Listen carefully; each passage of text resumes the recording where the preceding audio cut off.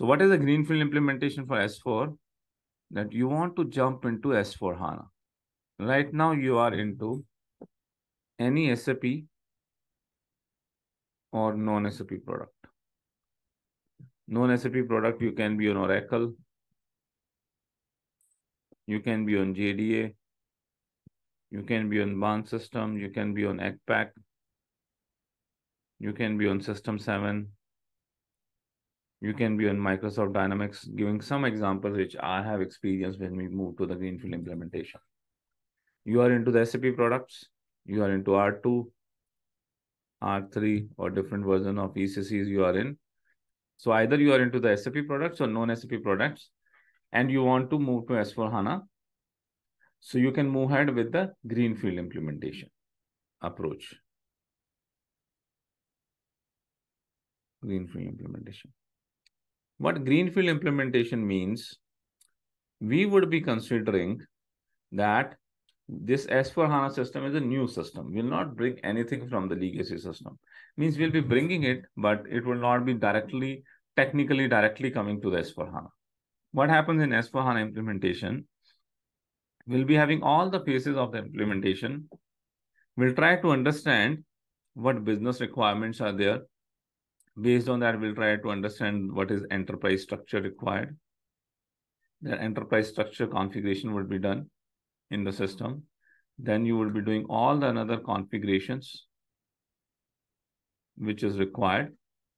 Company code level configuration, client level configurations, plant level configurations, you would be doing it. Then we'll be writing a custom code, Z customizations. Or your RICE Ws we will be doing. Okay. So when we have done this part, our core product is ready. Then we would be bringing data into it. Okay. We would be bringing the data and to bring the data, we would be bringing this data from SAP and non-SAP system. Let's say we would be downloading the data. They are they're bringing the data. There can be multiple approach approaches. You can download the data into the Excel sheets. You can improve the data. Okay, as per the S4 HANA requirements, you can improve or you can enrich the data as per the S4 HANA requirements. And then we will be using a tools called HANA Migration Cockpit to load the data into S4 HANA. What data can be there? The data can be there, your uh, master data at this point of time, your material, your vendors, your customers, and all other master data, bill of materials, work center, cost center, GL accounts, everything will be loading into the system. There would be some data which would be coming from the Excel download. We'll be downloading from the legacy system. Materials we already have, customer we already have, vendor we already have. We'll be downloading, we'll be enriching the data.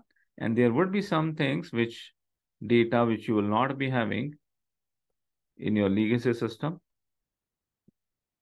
Okay, that manually uh, Excel template would be filled by the end users getting it improved, and then it will upload to the HANA migration cockpit to S4 HANA. This way, the, the data, the master data will come.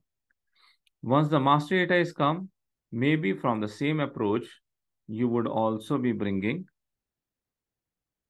you would also be bringing, with the same approach, you would also be bringing open transaction. Open transaction is your open purchase orders, open sales orders, open uh, uh, GL balances. Okay, those open transactions would also be brought to S4 HANA.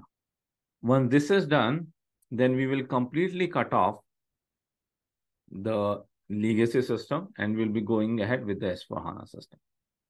In these things, you need to notice whatever the configurations are here in your system, we are not bringing no configurations. If you have done any kind of uh, customization, Z customization, that also we are not bringing it here. If you are having any kind of historical transaction data, your closed purchase orders, your closed production orders, earlier sales orders, that also we are not bringing. So no configurations, no custom code, no historical data. only the open transactions and only the master data we bring it. There are multiple options to bring the master data or the open transaction. I have shown you the approach with HANA Migration Cockpit. Some people also still using LSMW also. LSMW can also be used in S4HANA, although not recommended. LSMW can be used to load the data. Or we also have some different approaches. I have assigned you a HANA Migration Cockpit course as a complimentary 10 hours course. So there you will see that the different approaches are there within HANA Migration Cockpit also.